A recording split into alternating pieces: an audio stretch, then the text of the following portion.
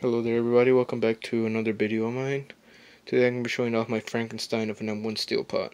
The reason I say that, because each of the parts is from a completely different year. So, and I just put it all together.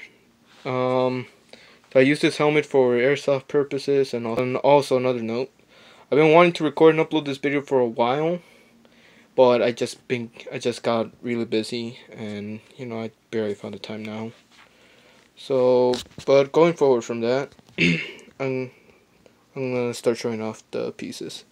Well, first things first, I'm gonna show off what's in the helmet band and all that. So this is a bandage I got from like the first time I went airsofting, and I just it's just a memento really, nothing, fucking, nothing really else from that. Does it give me away? Yeah, because it's white and it's a green helmet. So, uh, and going following up on that, we got this uh death card here. So, yeah, call me cringe, call me farb, whatever the fuck you want to call me. Mm, it's also another, like, uh, sentimental piece that I've just been having for a while now. And so I just wore it on my helmet since uh, the first time I went airsofting. That's really it. Um, I have seen some pictures of Marines or soldiers with a with a type of playing card in their helmet, but as you can tell, uh, this really explains why they didn't wear in their helmet that often. Because this is the aftermath of it getting hit with rain.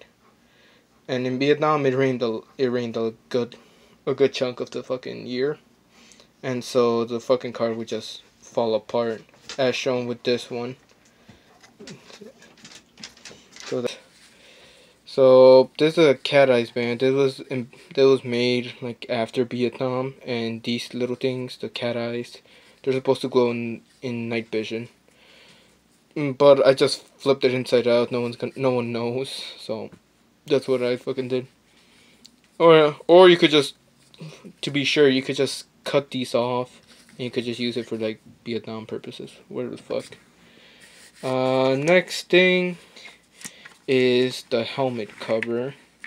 So Mitchell pattern cover. We got this at a surplus store for around 16 bucks, which is an extremely good deal, especially since it was used and it's original. And you can find a brand new one off eBay for like 26 bucks. I wanted to do that, but I just thought for that price, not really. Oh, don't even get me started on the um, originals on eBay. They charge the same price for one after Vietnam. Like, get the fuck out of here. If I'm gonna be paying that much, it's gonna be something original.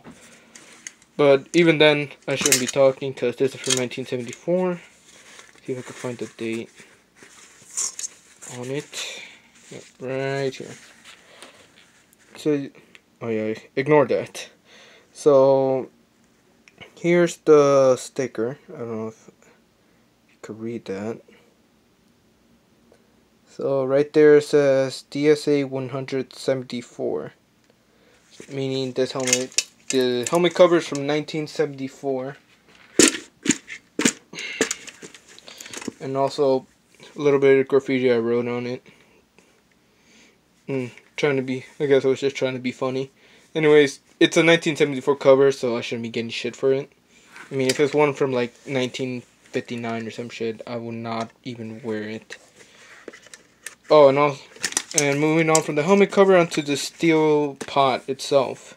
So er, this is a 1980 steel pot. It originally came with this type of chin strap, the fucking what's it called, the chin cup chin strap.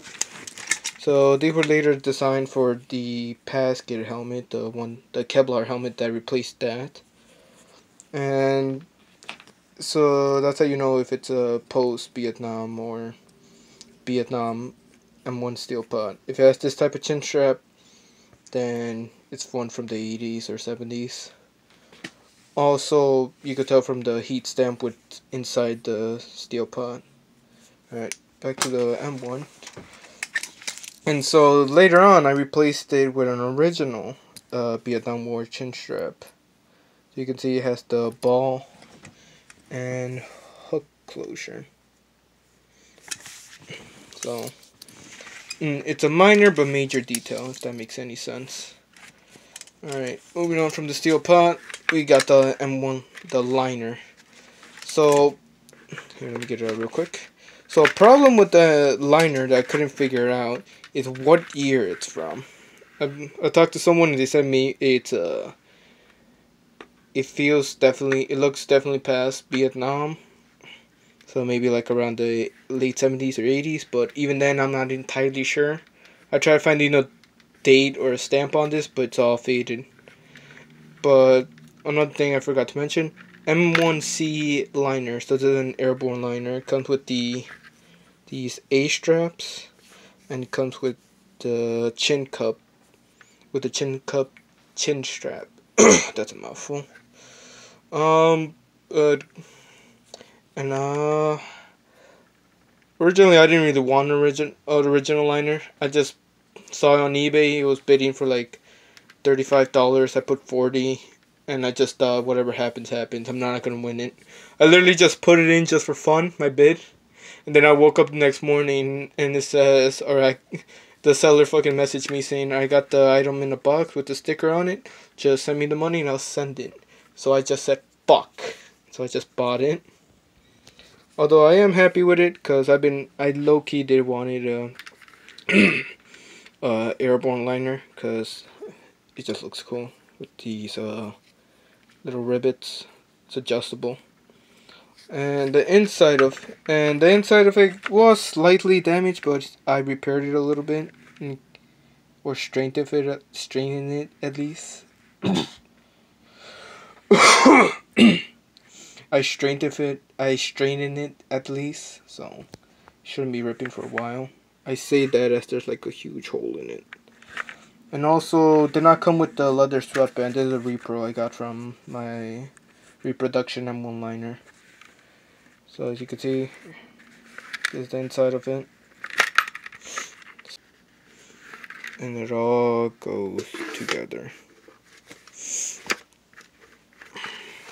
So yeah, that's my M1 steel pot. Alright, see you next time.